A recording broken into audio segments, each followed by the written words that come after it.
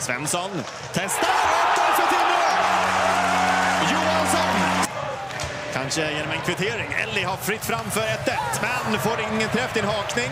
Vad blir det av det där? Ja, det blir straffslag. Så är det. Ellie är fri och blir hakad. För kvittering Linköping.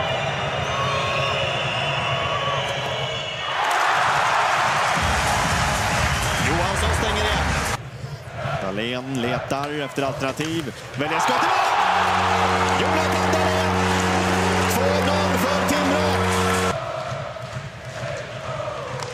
Ratti, ja, kommer först på den där Ratti. Han med sig Ellie. Ratti skjuter och pucken, ja den ramlar in! Bakom Johansson, Ty Ratti. Och så den där passningen då. Försök att få igenom den från Myrenberg och skott i mål! Rami Ellie! Kör in honom i sarghörnet. Oj, vilket läge för Ty Ratti! Och på returen helt öppet för Linus Hultström som stänger matchen. Linköping